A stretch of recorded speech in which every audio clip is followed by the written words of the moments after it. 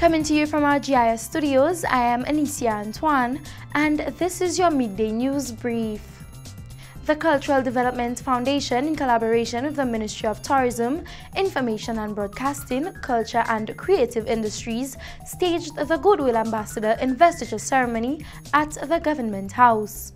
The ceremony detailed the official presentation and awarding of the St. Lucia Medal of Merit Gold to the Goodwill Ambassador appointees and featured performances by the Royal St. Lucia Police Band. The objective of this Goodwill Ambassadors program is to serve as a catalyst for socio-economic transformation in all sectors related to the creative arts and the industries that they support. The Goodwill Ambassadors will serve for a period of three years in the first instance and will also be issued a diplomatic passport and a decorated red laissez-passer signed by the Governor General. The appointed ambassadors are His Excellency Ronald Boo Hinkson, His Excellency Gordon Commissioner Williams, His Excellency Taj Weekes, His Excellency Jermaine Dufault, His Excellency Daren Sammy, His Excellency Sir Leslie Ferdinand, His Excellency Jallim Eudovic, His Excellency Joseph Marcel, His Excellency Dr. David Williams, His Excellency Ken Shitoli, and Her Excellency Laverne Spencer.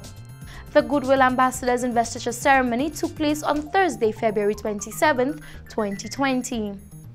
St. Lucia has been chosen as one of the countries to pilot an education program which seeks to narrow the digital education divide within the region. The program was launched in St. Lucia on Monday, February 24th.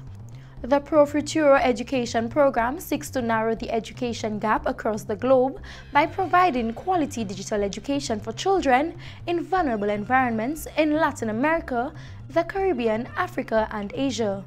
The program aspires to become a world reference for transformation and innovation in education, improving the education of millions of children through technology.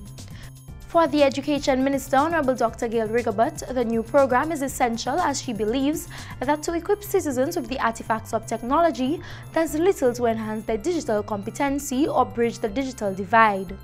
The program is being rolled out in the region with the help of the Organization of American States. The Regional Security System RSS headquarters through the 10th European Development Fund, has procured much-needed crime scene investigations equipment for member territories of their organization, inclusive of the significant amount of products for law enforcement in St. Lucia.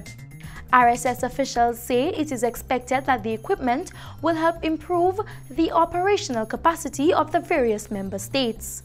The array of equipment includes protective gear such as CSI overalls, gloves, face masks, boots, glasses, and evidence bags to name a few of the articles procured.